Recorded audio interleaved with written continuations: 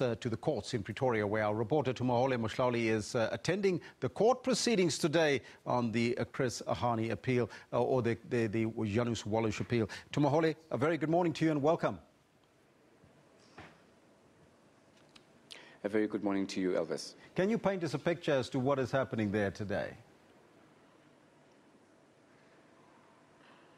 Well, thank you very much, Elvis. Well, uh, today, basically, uh, we are just uh, moments away uh, from uh, the court proceedings uh, beginning here at the Pretoria High Court. and basically, what is going to happen, it is the state basically looking um, to appeal a decision by the, an earlier decision, rather, um, by the High Court looking to give Janusz Walus a parole, saying that he is eligible for parole after spending over 20 years behind bars for uh, the murder of uh, SACP uh, leader Chris Hani. Uh, now, of course, uh, this was met with much outrage, and the government, both government and the SACP, saying that they would be looking to review this matter, which is ex exactly why we're here in court today. I'm joined now by the SACP's uh, Solly Mapaila, who will just give us more insight into exactly how they feel about this whole process. Mr. Mapaila, we are here in court today. What is your expectation?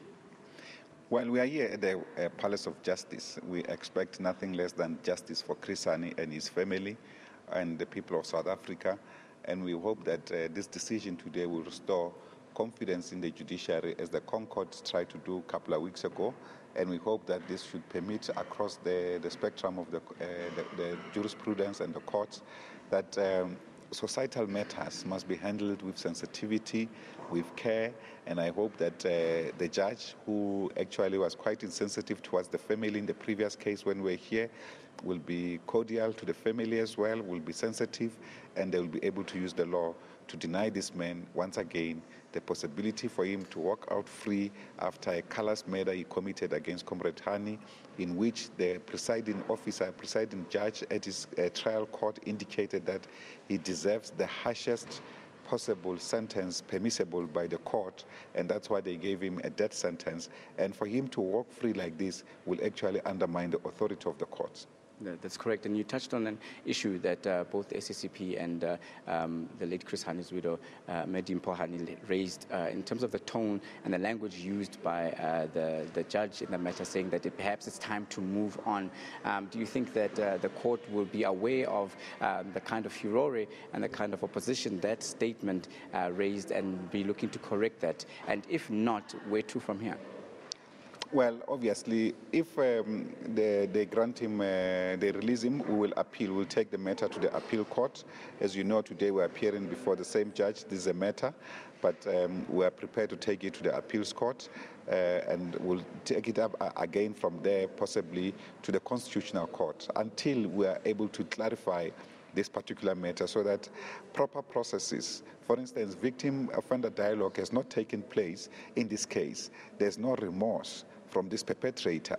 But the courts want to create an impression that the family should actually prove the case of acceptance or forgiveness when actually it's not in their court. The court, the ball is in the court of the perpetrator to prove, to show his remorse, uh, his sense of um, regret, so that the family can actually accept uh, what he's saying, and we're then able to move on. But before that, that, that can happen, we can't use the law mechanically to make sure that uh, perpetrators of such heinous crimes like uh, this one that killed our general secretary uh, can just uh, they can just cold-bloodedly kill him and they go scot-free. So that's why we think that uh, justice should prevail in this case. Mm. Minister Masutha was also uh, very emphatic in that the, the, the, right processes weren't followed or weren't exhausted fully in terms of the process of consulting with the family. And he had said that while the state is not opposed to uh, the idea. They just wanted to, the full processes and everyone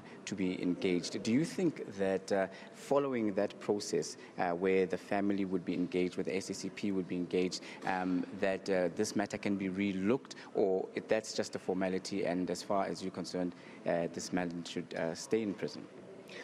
Yes, this man should stay in prison. Uh, you'll remember that ideally this man should not even be in prison by now. If he spoke the truth to the TRC, he would have received amnesty.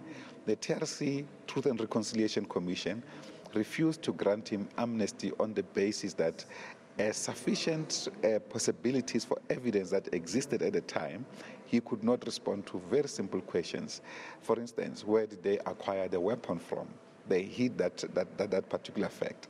And again, uh, that's why the Communist Party has called for a formal inquest into this, matter, into this matter so that further inquiry can be undertaken by the NPA. And obviously, we agree with Minister Masutha, uh, is, is quite right. Uh, various uh, aspects of parole legislations have not been followed in this case, just precisely because this man has disdainful attitude, he has disrespect for our constitution, he has disrespect for our country, he has disrespect for, for the family of Hani. He doesn't even care uh, of the consequences of his own action previously, actually, when Minister Ndebele uh, was still in charge of the, of the, of the section, he had actually put in his uh, in, in, documents that uh, he wants to be released and leave the country. That I won't even stay in your country for more than three hours if I'm released. That's the level of disrespect this guy has on our country and its people. That is why we feel that justice has to prevail. And that's we're not calling for punishment or anything of that sort. We're just simply calling for fairness, for justice to take its course. Mr. Mapaila, we'll have to leave you there. Thank you very much. We'll speak to you as the day goes on. Uh, that was uh, Solly Mapaila from the SA Communist Party, uh, basically putting across um, the SACP's position and as well reflecting some of the emotion that has been put across by uh, the late Chris Hani's family and uh, his wife, uh, Medi Mpohani. Uh, with that, it's back to you in the studio.